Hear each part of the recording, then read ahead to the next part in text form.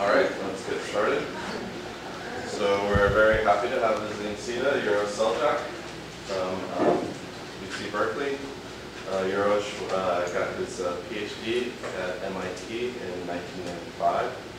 He then went on to a postdoc uh, as a Smithsonian Fellow at Harvard. Uh, then he to faculty at Princeton, uh, spent time also as faculty in Trieste, Zurich, and he joined uh, the faculty at Berkeley in 2008. He's now uh, director of the Berkeley Center, uh, one of the directors of the Berkeley Center for Cosmological Physics. He's been active in uh, many fields of large-scale structure and cosmology that I won't list, and today he's going to tell us about the convergent approaches. Thank you. Thank you for inviting me. It's always a challenge to come up with something sufficiently theoretical here at CITA because there's such a uh,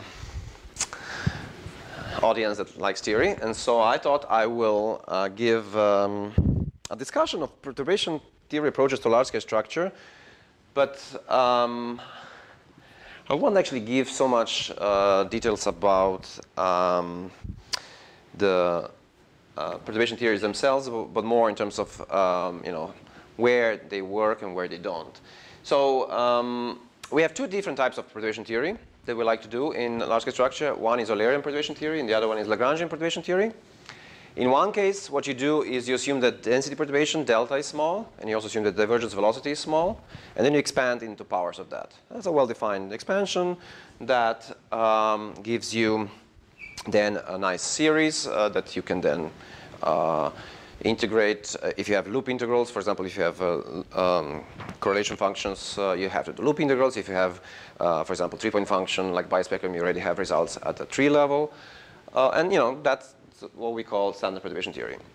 There's a second uh, perturbation theory approach, which is called Lagrangian perturbation theory approach, which where you actually don't work with density, but you work with displacement. Uh, you still have to assume something about how you go from displacement to density, and that's where you actually also assume that density is small. Uh, but it, you know, at the end, of the end of the day, it's a, it's, a, it's a different expansion. Although order by order, they should agree. In fact, order by order, the, fact that order by order they agree uh, one can show in 1D very nicely. There was this nice paper by McQuinn and White here, where they've shown that basically Zeldovich, which is just first order uh, Lagrangian perturbation theory, is uh, a result of an infinite sum of uh, Eulerian perturbation theory. So in this case, and in this case it's also exact. In one dimension, uh, Zeldovich approximation, as we call it, is actually not an approximation, it's exact. And that's because the force is independent of, this, of the distance in 1D. So it's a very special case. But um, I just want to emphasize uh, uh, one point, which is the perturbation theory assumes the density perturbation is small, and it fails a place where density becomes infinite. We, show, we call this place orbit crossing, shell crossings, uh, and that's where the halos form. So whatever we do in perturbation theory, we really should not expect it to be perfect. Uh, an example in 1D is shown here. Again, this is from this paper. Uh, you have uh, second order uh, linear, for example, is green. Second order SPT uh, is blue. You see second order SPT differs from the exact solution already quite early on, both linear and second order SPT. Zeldovich, which is red, is exact relative to the full nonlinear solution all, all the way up until shell crossing. Once you have shell crossing, it's no longer exact basically what happens is you have these shells of um, Lagrangian shells, which then just cross each other and continue to stream, because in the Zeldovich approximation, basic particles just stream uh, along straight lines uh, without any change of velocity. And we know this has got to be wrong. Okay, so the bottom line here is that perturbation theory uh, cannot possibly account for shell crossing. Okay, so um, what does that mean? Uh, oh, here is uh, the same thing in 3D uh, for one specific perturbation theory, which we call Lagrangian perturbation theory. This actually, is actually two, uh, two, uh, second order Lagrangian perturbation theory.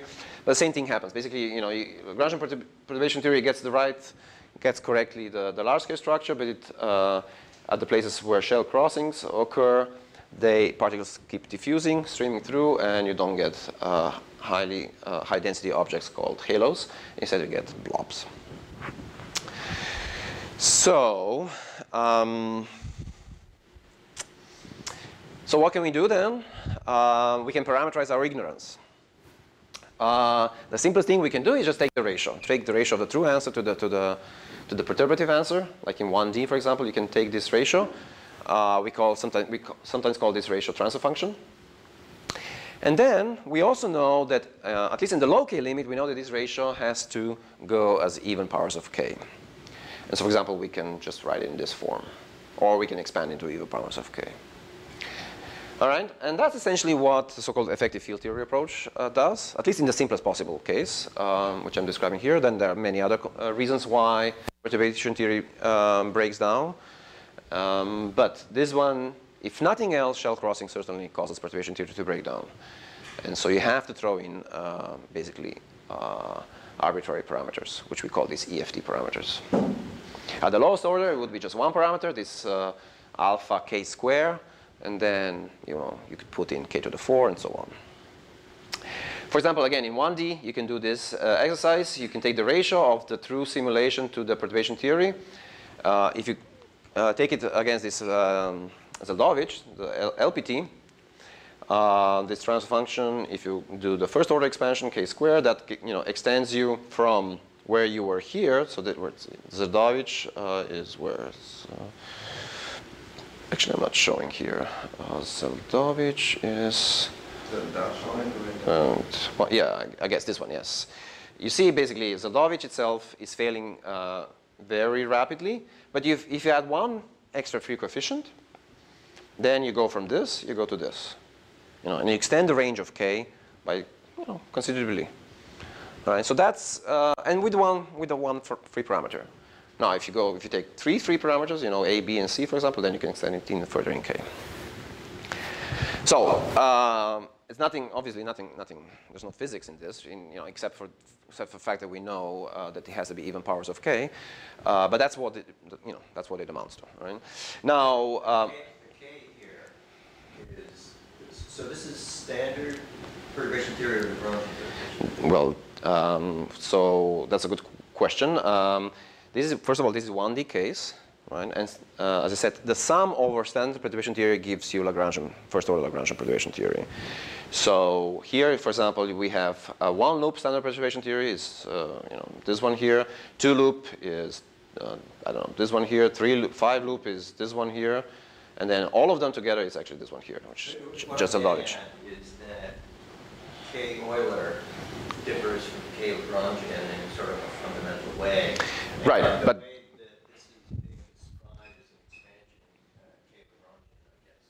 Well, uh, in 1D, you don't have to worry about that because, as I said, in 1D, uh, uh, Lagrangian perturbation theory is superior over standard perturbation theory in the sense that it's actually exact. Uh, yeah, for right, for 1D. Yeah.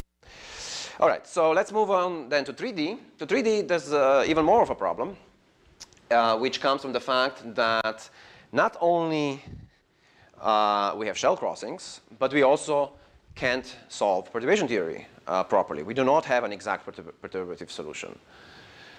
Uh, and the problem is that, and this is a problem both in standard perturbation theory and in Lagrangian perturbation theory.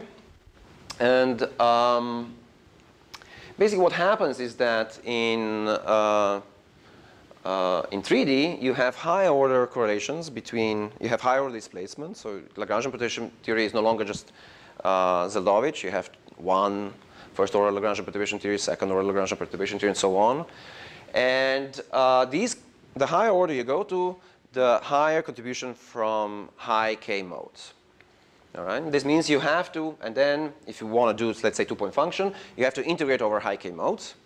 And these integrals uh, are in the regime where delta is already larger than one.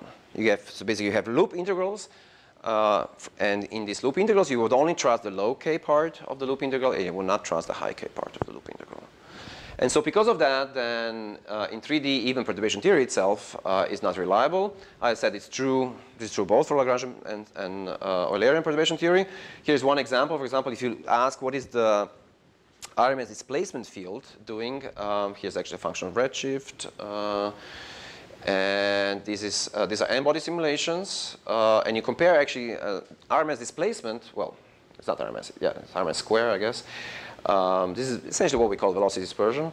Uh, divided by linear, it's actually very close to one in simulations. But Lagrangian perturbation theory says it should be increasing um, uh, towards lower redshift. And the reason it says that because it has this, uh, you know, second order two loop integrals uh, or even one loop integrals that are at high k and give spurious contributions. Uh, physically, actually, we think we know why this is happening. Uh, we essentially in this displacement field we have to cut it off. Displacement, displacement stop, particles stop displacing once they have trapped inside uh, uh, dark matter halos. Right, they, they stop doing this streaming. Right?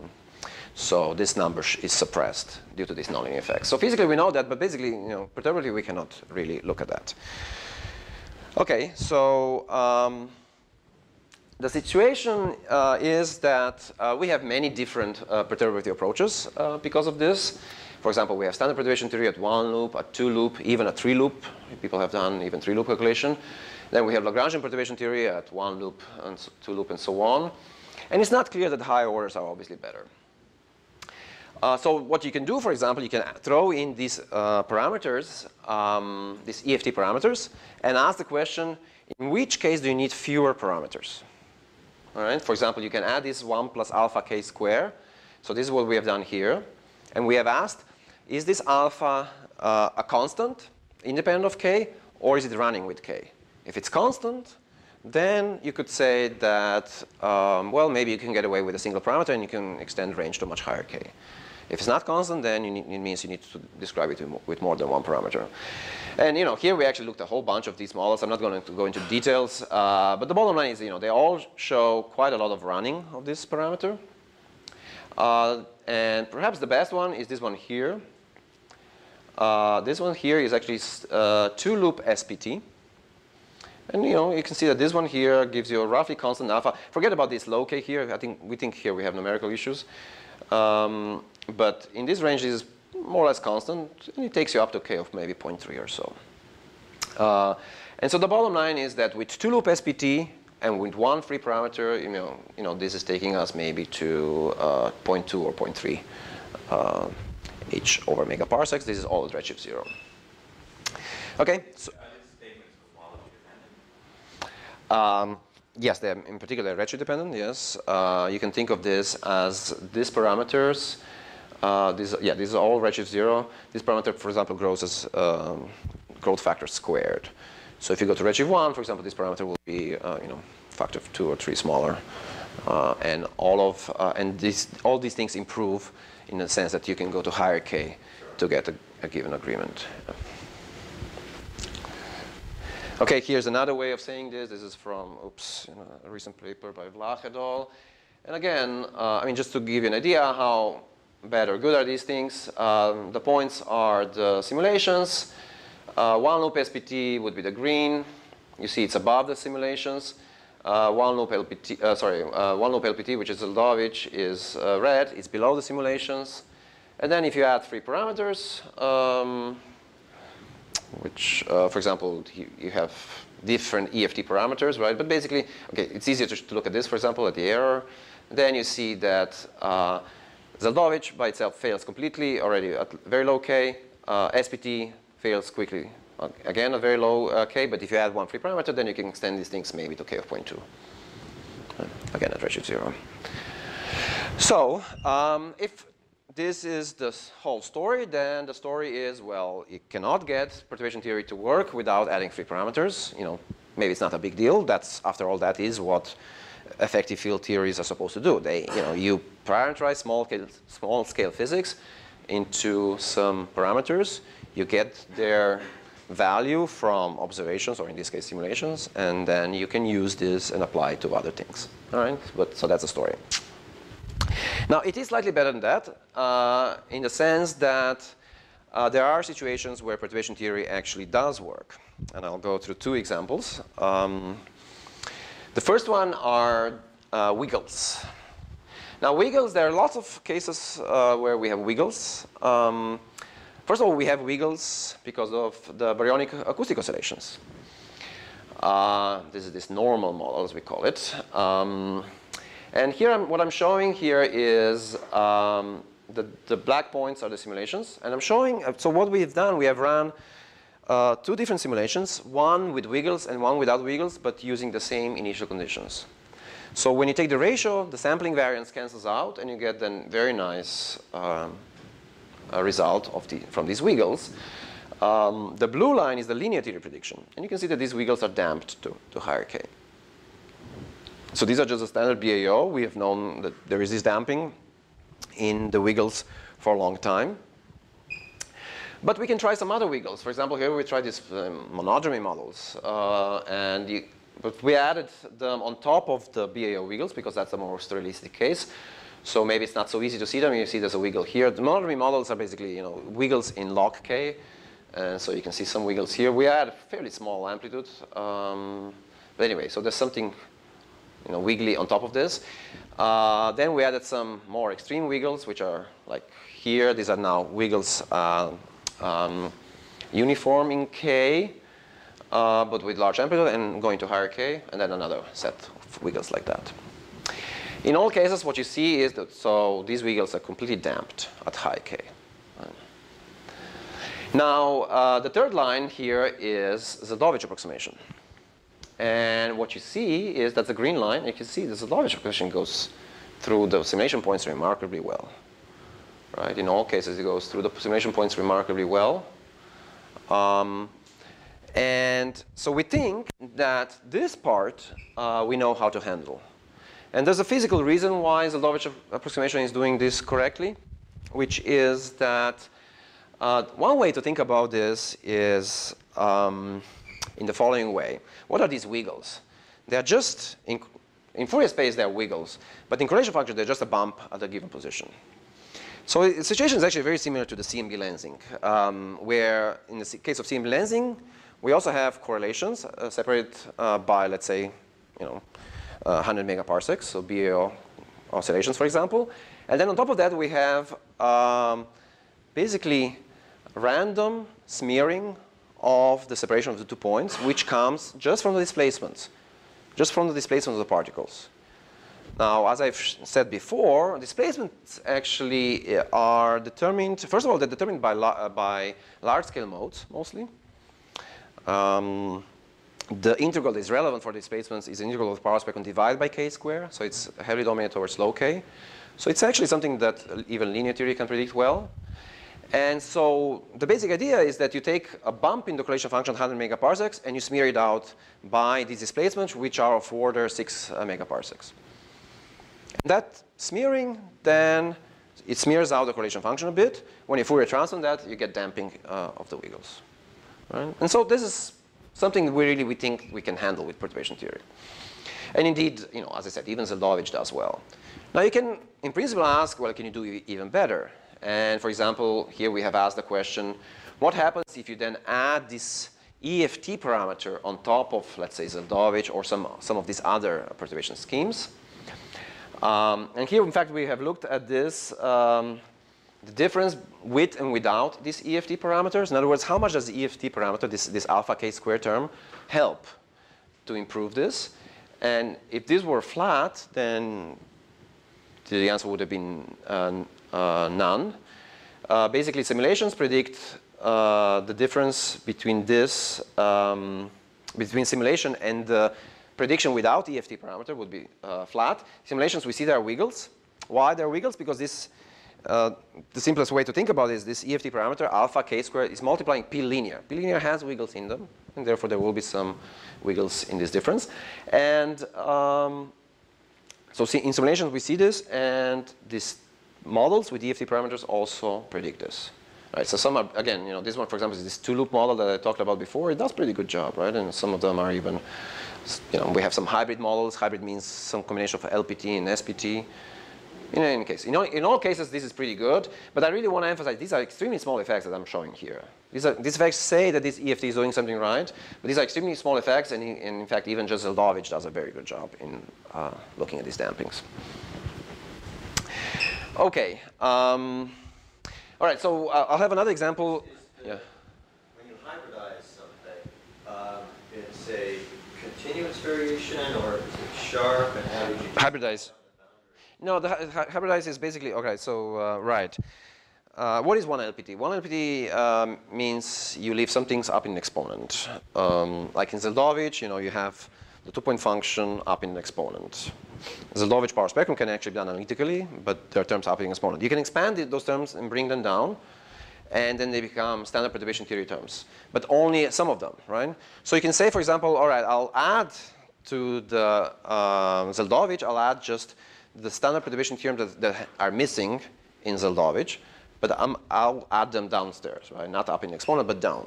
Right? That would be an example of a hybrid model, right? So in other words, you have taken LPT to the infinite order, but only for the terms that are there in Zeldovich, you know. But you don't take that um, to minus k squared sigma s squared uh, to all orders.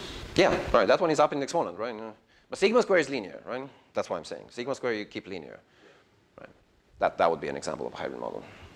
So in other words, the other high order terms for sigma square would you bring them down and you make them SPT terms. Okay, so anyway, so uh, I think I mostly said all of these things already. You know, um, what are the challenges uh, of this EFT approach? Um, well, first of all, one parameter is only an approximation. Um, these are free parameters. Ha they have to fit from simulations. In fact, there's huge controversy about this EFT business, uh, also because recently people have, have been sort of overfitting uh, in the past, and they have uh, claimed that EFT works to higher k than it actually does for the same um, uh, value of parameters. Uh, and the reason is that the, the, simulations just weren't good enough. So I think the situation has, has been clarified a lot recently by Baldauf et al. and Foreman et al. And uh, the, the, bottom line of that, uh, those studies is uh, what I said before, that two-loop SPT plus one, one EFT parameter does a good job up to k.25 or so.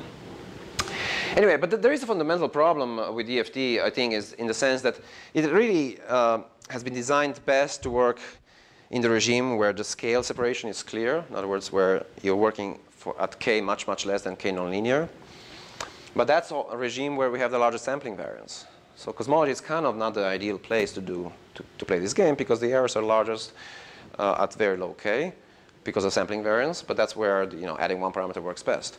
Um, and basically, fundamental problem is that nonlinear scale is just very close to the scale we care about. You know, we think nonlinear scale is around, you know, redshift zero maybe 0.3 or 0.4 or something like that. So it's actually very close to the expansion.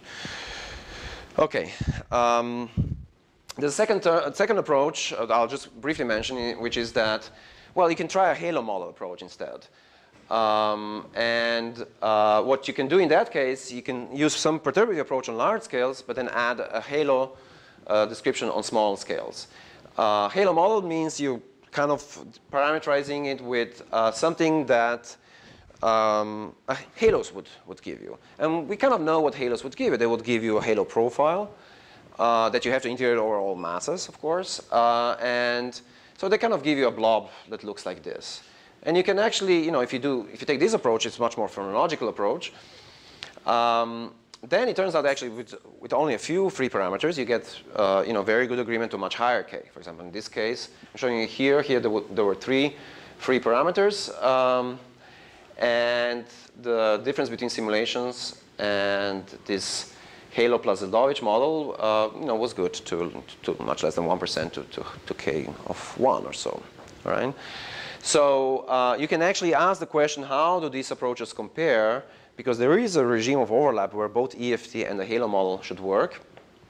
And I'm showing this here. I'm actually subtracting out here the Zeldovich part. So this is the, the part that is perturbation theory uh, in the Halo model. Uh, and the difference is then this blue line, this is this one Halo term. Uh, and uh, orange would be the EFT. Um, and you can see basically orange and blue agree here. You also see that EFT has more wiggles because the Halo model is kind of, the phenomenological description of Halo model is usually, you know, with blobs. Uh, uh, and so it doesn't have these wiggles. So this is, uh, the Halo model is doing incorrectly here uh, for these wiggles. I already mentioned before these wiggles are actually very small because the Loviches are actually already doing quite well on the wiggles. So they are small effects, but nevertheless they are there. And then as we go to higher K, you know, Halo model takes completely over, whereas the, these EFT uh, terms, uh, the, these EFT approaches break down and you would have to add more and more free parameters here. Anyway, so that's basically where we are uh, right now in terms of uh, perturbation theory versus the Halo model for the dark matter. Uh, here's another plot of this uh, the total power spectrum from this halo model, right? You take the Zeldovich part and you add these even powers of k. Um, in, in this case, they're even powers of k only, not multiplying the power spectrum. Okay, I want to talk about second uh, application of perturbation theory, um, where um, which where we think actually uh, should work really well, which is the covariance matrix. Uh, and um, first of all, this, according to some people, this is a major problem. I'm, i mean, I don't think it is, but uh, you know, people working on Euclid or something like that, they claim you need tens of thousands of simulations to get the covariance matrix for the dark matter, uh, for lensing, for example. Um, and however, if you, are, if you look, and so for example, there was this paper by Blot et al. They ran 12,000 simulations, uh, and some of these predictions claimed you need even more simulations. So if you look at the structure of the covariance matrix, uh, there's always the, connect, the disconnected part.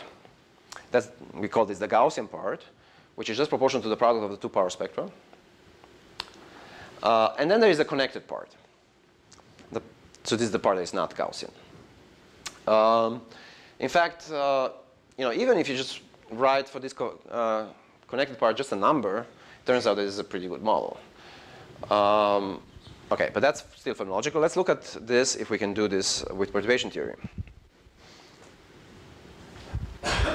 Um, first, so there are two, two contributions to the covariance matrix. First one is from the modes which are, um, we, we say they are modes from the outside the survey. So these are the modes that do not average to zero on the scale of the survey. If they don't average to zero, then they, then they have some mean on the scale of the survey. And the way to think about this is that this is just a change of, uh, local change of curvature.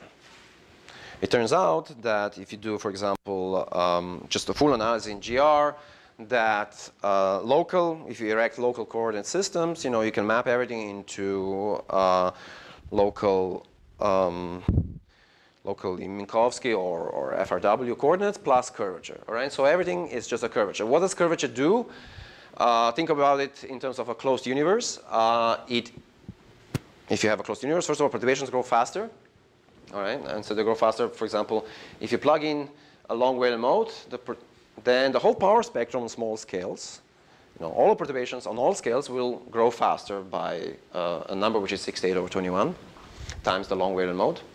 And the second is, you know, uh, closed universe also shrinks more, right? Remember, you know, closed universe eventually, we, you know, collapses. So, um, or it's expanding less, whatever you want to call it, right? So that uh, leads to actually a scale, change of scale, which can be written in terms of the one-third uh, derivative of the power respect to uh, the K mode.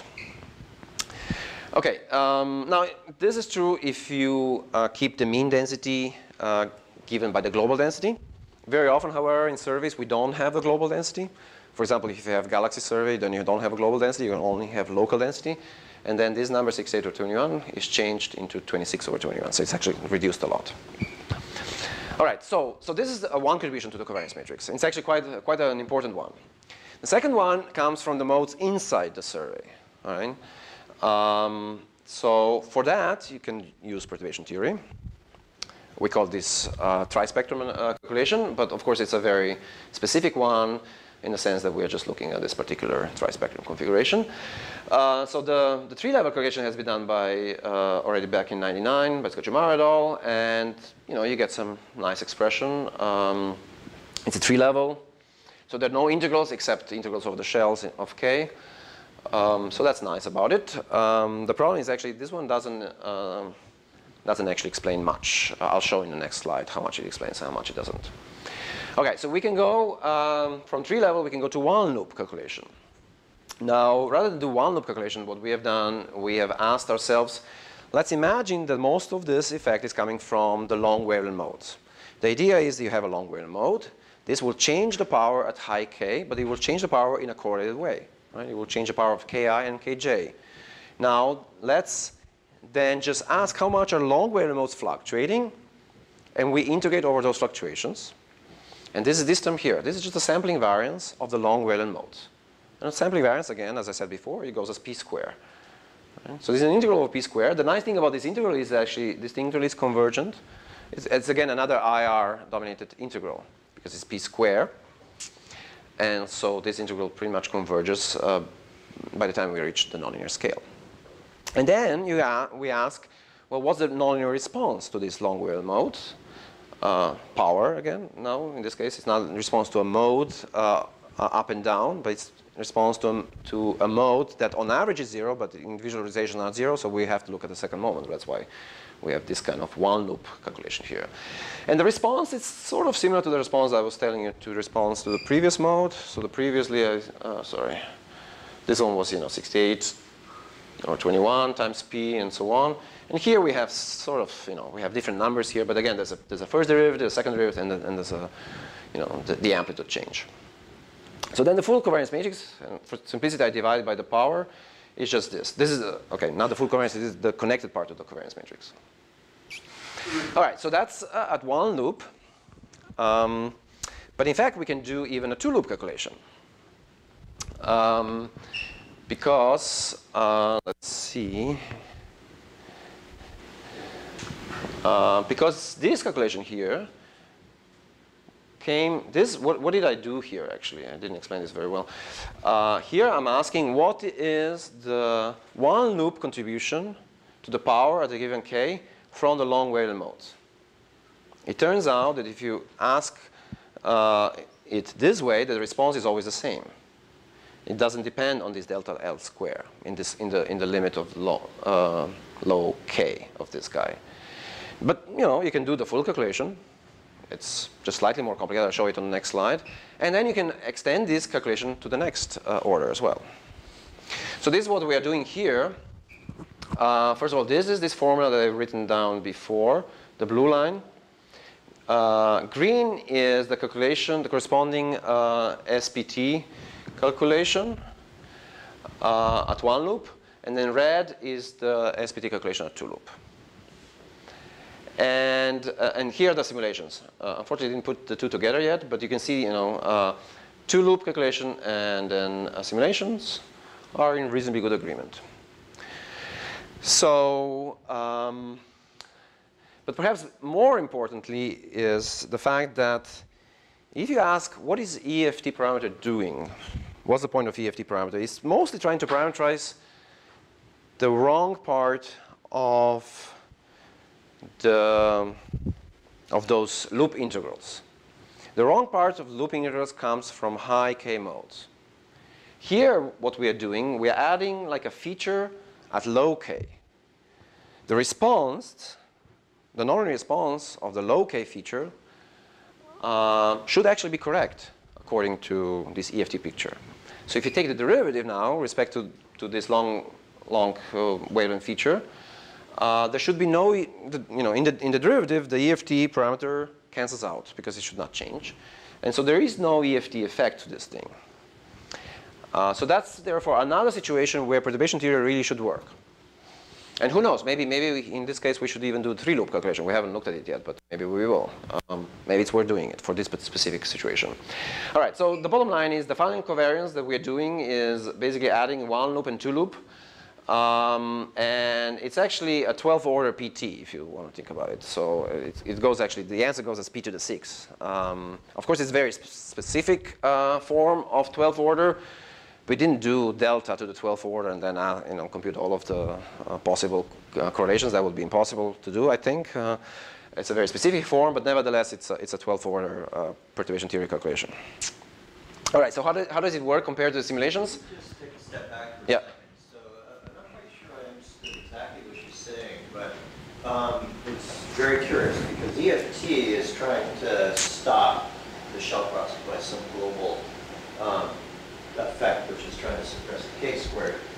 And here, you're saying that the long wavelengths are feeding back to the short, and that that's actually the more important effect, and so you're essentially challenging the underlying EFT? No, no, no. No, no, no. Actually, I think it's the opposite. First of all, I am making the assumption here that most of what the EFT is trying to do is actually correcting the incorrect part of the integrals in the perturbation theory that comes from high k. High k. Yes. Here, what I'm doing, I'm just looking at the difference between uh, perturbation theory calculation with and without a low k bump. Okay, there's a, we put in a bump basically. Uh, here, here's the bump actually. Sorry, we put in a bump at this low k, and we ask what's the what is the response. Yeah, since this is a low k bump, the EFT would say, well, the low k part of the perturbation theory is correct. We don't need to change anything, and therefore the derivative will be correct from the perturbation theory without any EFT. That's what I'm saying. So you don't for the derivative part. If you put a bump in a low k, there is no need to put in any EFT correction. Right, and that's consistent with EFT, but it also says that you don't, in, for this specific case, you don't need EFT. Okay, so um, here we have some calculations. Um, uh, for example, here we take k prime of 0.1. This is the Gaussian part. This is the, the disconnected part that we have added. Uh, black is the covariance matrix from uh, simulations of Lee et al. Um, and then we have tree-level calculation contribution. This is this one here. Um, then we have this um, super sample variance part. Uh, that's, uh, sorry, no, tree-level is actually this one here. Super sample uh, part is this one here, and then one loop part is here. If we add them all together, we get the blue line. And you can see that, you know, it's not too bad compared to the um, simulations. Here I've chosen a different k. k prime is 0.3. Again, in this case, the disconnected part is very small because we have so many modes. Um, then let's see, tree-level is this one here. The super sample variance is one here, and then the one loop, one, one plus two loop actually here is this one here. And again, you know, it's not too bad, right? Uh, in other words, uh, you know, you can actually use perturbation theory to derive the covariance matrix. Here's all of the case put together, you know, theory versus uh, the predictions. So we're still working on this. So this is not finished yet. But I'm, you know, basically, I'm just trying to emphasize that um, this situation where perturbation theory A uh, can actually work uh, without free parameters, and B, it does seem to work. Okay, there's one more thing I can, uh, we can say about the covariance matrix, which is that uh, uh, the structure of this covariance matrix is, is, as I said, the response to the long-Wheeler modes, the first order is always the same. So you can think of this as integrating of the long-Wheeler modes, um, and then, but the response, since the response is always the same, uh, you can write the, the connected part of the covariance matrix just as a, as a single eigenvalue. All right, you can write Cij as a single eigenvalue times the eigenvector. All right, and this is the um, eigenmode analysis of the covariance matrix, of the numerical covariance matrix, and you see basically there's one very large eigenvalue and everything else is around zero. And this is the eigenvector that we get from this. So if, if you do it this way, then actually you can think of covariance matrix uh, more as an external parameter. So in other words, you can add to the, to the data analysis, you can add an, another parameter uh, for which the eigenvector you know, and you can just fit for this um, extra parameter. It's really completely fictitious parameter. But the nice thing about this is then the, the, the rest uh, of the covariance matrix can be is completely Gaussian. All right? And so you can, in principle, even marginalize over this thing.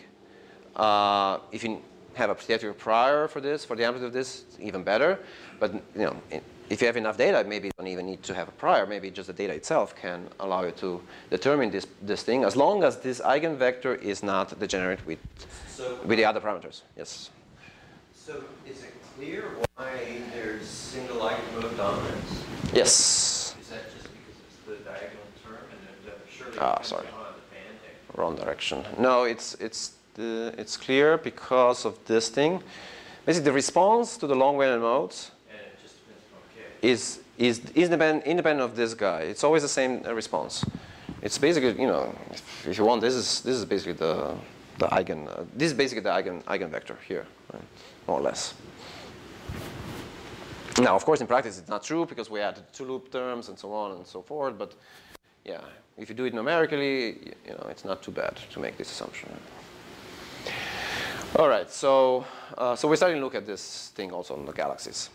All right, so uh, I've almost uh, spent all of my time working, uh, talking about dark matter, but I want to say at least some, some words about um, uh, galaxies. Until when I, I should go? Till four or what? yeah. All right, I'll go through now. Now, the harder, a lot harder part is, of course, doing perturbation theory for galaxies. Uh, the basic idea for the galaxies is the same. You start with perturbation theory. You see how far you can go with perturbation theory. Um, so some of the things can be modeled with perturbation theory. Uh, but then there's always more stuff on small scales that you don't know about, you cannot possibly know about, like shell crossings. Uh, and you basically want to have uh, you know, nice transition to ignorance, uh, which obeys all the symmetries and all the physics, and you parameterize this ignorance, and you put it in, and you hope for the best, right? And that's basically the idea. Um, in fact, the, this small-scale physics uh, is so bad in the case of galaxies that we really, you know, work in, with a combination of, uh, you know, perturbative biasing and a halo model, uh, because just perturbative approaches we don't think can get us uh, high enough uh, in K to be useful. Okay, so um, I don't know. I, I have a lot of slides, but they're not very useful. So, you know, first of all, what is the complication number one uh, in the case of galaxies? You measure two different types of galaxies, like red galaxies, blue, uh, and normal galaxies. You see there's an offset in amplitude by a factor of four. Well, you already know you're not tracing dark matter directly, right? So you have to parameterize this with a bias. Um, there's a well-known description for the biasing. We understand why biasing happens. If you have rare objects, if you have long wavelength mode fluctuation, this leads rise to this bias. And the, you know, the rarer the objects, the higher the bias. In the previous slide, the red galaxies are rarer than the normal galaxies. That's why the bias is higher. Okay, so if this was all there was to it to biasing, fine. We can marginalize over this. Uh, we even know how to, how to measure this bias from redshift space distortions. But it doesn't stop there. Uh, you can um, go and look at the higher order biases. For example, you can do the simplest possible expansion, uh, like B1 delta plus B2 delta square. And it turns out that um, even if you start with this kind of approach, then gravity develops additional terms, develops something which we call the tidal tensor uh, bias. I won't go into details, but basically, you know, there's another bias that pops out just by gravity. Um, and it may also be there already in the beginning in so-called Lagrangian coordinates. We call this BS square. So at second order, we have two extra bias terms, B2 and BS square, that you know one can go and look for in simulations. Uh, I'm just showing you, you know, uh, where we look for this in uh, in the bispectrum. If this bispectrum was flat, it would have been just B2 bias. But since it's curved, we also have clear evidence for this BS square uh, bias. Um, all right, so we have two more parameters, uh, but this is for the bispectrum. What happens if you want to go at one order in, uh, beyond linear in the power spectrum? Uh, at one order beyond linear in the power spectrum, let's just take this for simplicity cross correlation between uh, halos and dark matter. Okay, this is a linear term. But, um, but then we have this second order cross correlation with second order. So this would be these uh, second order bias terms that I just talked about. But at the same order in terms of loop loops is also third order density cross correlated with the first order density. Um, you know, you can do expansion to the third order. This was all done by McDonald and Roy. In fact, it was done here, I think. Um, and uh, you know, you come up with another bias uh, parameter that we call third order non-local bias. All right. Again, you probably are familiar with this since uh, was done here by Pat. And uh, you can go and fit for this parameter also. Now this time we are fitting for this parameter in the, in the two-point function. We're looking, for example, halo density uh, uh, cross-correlated with the matter density. And basically, if you just have those two par uh, bias parameters I mentioned before, you get this. Simulations are here. You clearly need something else. All right, so um, let me skip this. Um, so um, the, the BS2 term is very Yeah, yeah, yeah. Um, that uh, suggests that uh, your choice of galaxy is going to make a big difference because it's an environmental effect. Sure. Uh, well, in this case, it's just about it's just a well, as I said, it's generated by gravity. Yeah. Oh, wait, wait a minute. Are you saying the BS squared is only gravitational? Well, that's a good question. Um, so far, we have some evidence that it's not only gravitational, but not very convincing evidence. In fact, unfortunately, I don't have that slide uh, to answer that. Uh, um, But um, I'm, I'm just pointing to something you know very well, the, the selection of the objects, once you start to go for higher order terms, is going to have an influence. but there's something that you told us, which is ellipticity matters a lot, right? Uh, example, for example. Right. In ellipti- ellipticity in Lagrangian coordinates, right? And how are you going to get away with that? I mean, it's not, you know, how are you going to get rid of it? No, you aren't, no. I- So therefore, my point. and that one will generate this term already in Lagrangian coordinates. Yeah, but then it makes one wonder about, which of course you've done a lot of, which is the selection of the objects based on some kind of environmental thing in order to get more information from the surveys than just some global analysis of everything sort of. I mean, obviously that's being done, but here it's sort of a different issue because you would be trying to use some constraint of a structure on longer scales, the non-local effect, I guess. Yeah, but when you translate what what you're stating into statistics, you know, then really, you know, this is the right approach, I think, in, the, in terms of classifying uh, the terms, right, uh, that come in. Maybe, but you know, it I, think the non-locality is probably. But this is non-locality, right? This guy is non-local, yeah, yeah, yeah, yeah, yeah. the general issue of the delta m, delta m squared might not be yeah. encompassing what you really sort of want. Maybe you're thinking about a different type of non-locality, which is the peak, peaks uh, non-locality. Uh, Uh, mainly thinking about uh, multiple scale constraints. Uh, that would be exclusion. Well, Okay. no, Let, let me get yeah. Let me get yeah. Anyway, let me let me let me say a few of these these terms. I, I think I should have it. Okay. Um, all right. Let me first uh, say this. Okay. So you can do the modeling for halos, and you know this is just to show you how well we do in redshift space as a function of k and mu. Mu being the angle between the uh, Fourier mode and line of sight, and you know we we do what we can, right? So uh, we have reasonably good agreements at. For low bias galaxies, and then for higher bias galaxies, it gets harder and harder. Um, let me let me just mention. Let me skip this. Uh, let me just mention beyond perturbation theory what we need to account for. Um, there are one halo terms uh, that we need to account for, but th- those are actually I'm showing here. One halo term is basically saying that you have a lot of galaxies close to each other. They just change the shot noise. Right? That's the point of this plot. Is just to say. Let me not go into details, but it's just saying you know. You, modeling this term as k to the zero is good enough. The part, the, the, model, the term that is not good enough is, is uh, redshift space distortions uh, in, the, in the form of fingers of God. What's happening is that as you have satellites into the halo, they uh, have very large radial velocities because they're virialized. And these then transform into very large smearing along the line of sight. And if you look at the power spectrum, uh, it turns out this smearing uh, uh, for you know, large lines of sight, so for mu angle uh, close to 1 is very large. For example, if you go to k of 0.2, you already see a 50% suppression in power. Um, in uh, cases where you have cross-correlation, for example, between centrals and, and, satellites. So this thing you cannot model just as a k square, 1 minus k square term. It has to be modeled beyond that. Any such model has to be phenomenological. Of course, you can you know, do a PDF of velocity and integrate and stuff like that, but you know, at the end of the day, it's just uh, you know, you have to go beyond uh, just uh, k-square EFT kind of approach. And so here we have tried, for example, exponentials and uh, Lorentzians and so on, you know, which you know give reasonably good uh, agreement. But the, the, the, point I'm making is you have to go beyond simple um, k-square terms. All right, so um, the stochasticity that we just talked about um, is a good way to define um, what is the difference between autocorrelation and cross-correlation. Uh, you can define stochasticity basically as delta halo minus bias times delta mass squared. You can express it in terms of uh, the two-point functions.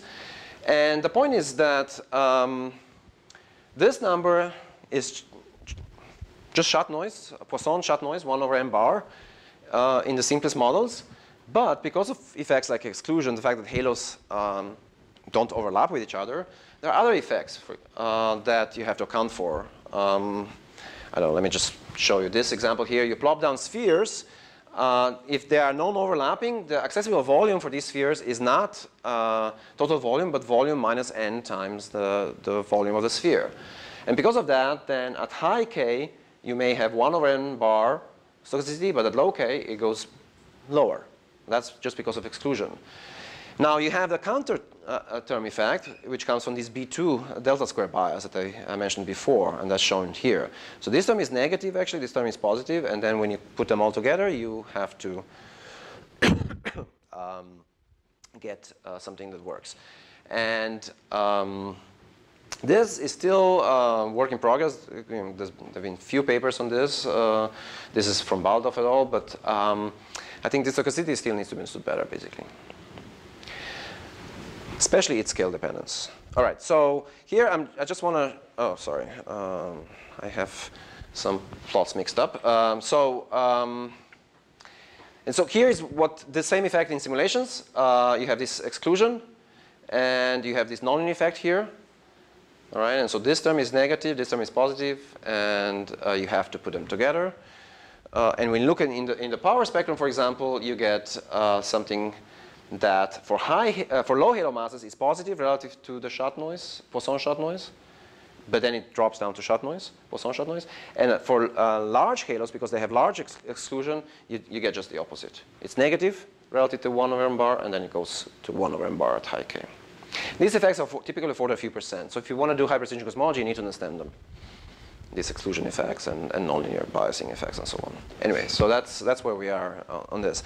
And then I just want to mention one more effect, uh, and then I'm done, which is that there's, on top of that, there are constraints that come just from peaks.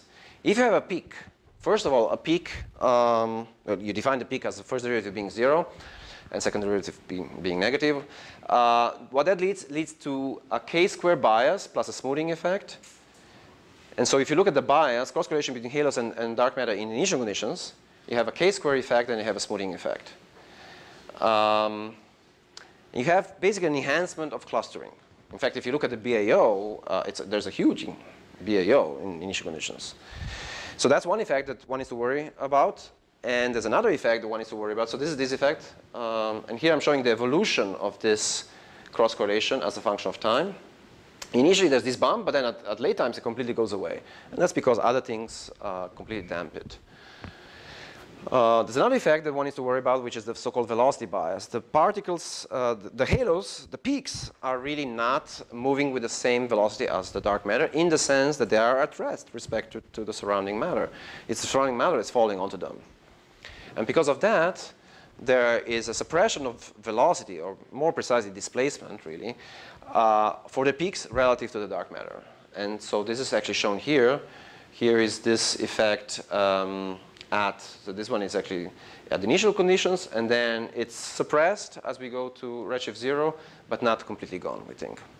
So a lot of these things uh, need to be um, understood before we can claim that we understand biasing. Anyway, so let me just give you one more uh, slide, uh, which is this one here. Uh, and this is just saying how well we are doing right now when we put all of these uh, biasing effects together and all this modeling together. This is a function, this is a modeling of CMASS sample in, in Sloan. As a function of k, we model it up to k of 0.4 uh, to about 1% or so uh, as a function of k and mu. And this, in, in, this model, we have 15 parameters, not free parameters, because they're all connected to the halo mass. Uh, so the nice thing about biasing is we think we can connect these parameters all to the halo mass and maybe redshift in the sense that they are all uh, physically well motivated. These second order biases, stochasticity bias, all of that stuff, uh, even velocity dispersions. Velocity dispersion for a halo, we know it has something to do with, with the halo mass.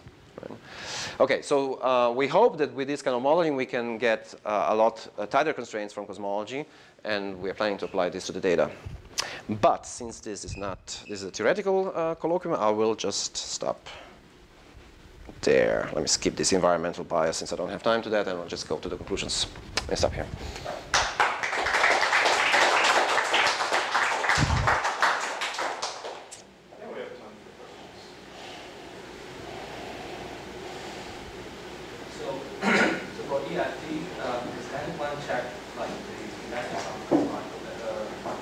Yes, yes. Yeah, as I said, this, this, this, uh, this sound squared goes as uh, growth factor squared. Uh, if you think about, you know, grows as sigma 8 square. That seems to be a very good um, approximation. And also, uh, you seem was trying to compare different uh, EFT approach uh, on top of different uh, perturbation theory, right? Uh, and you are arguing that the one less surrounding was uh, supposedly you guys are Yeah. And, so, for, for all these uh, different approaches, uh, so you think the uh, dependence on uh, similar? Uh, well, yeah, I think so. To some extent, it, they have to get smaller as you go to higher redshift. And, you know, so they have to get smaller as you go to lower sigma 8. Now, whether they're all exactly d squared or sigma 8 squared, I don't know. Yeah, that, that has not been looked at very much. Yeah. Eventually, you have to apply to the res- relation, um, like reach out cosmology information, different approach have different. uh, Yeah, I, right, right. I, I, yeah, I'm, I'm, I should really say when I say d square or sigma n squared, this is just this come this comes out of numerics. There's no derivation of this. You know, this is not something you can derive. Okay, so um, you know maybe you can hand wavily derive it, but it's not. Uh, we don't think we have a clear understanding of that. Uh, and yes, you're right. For other EFT expansions, probably it would be different. Yes.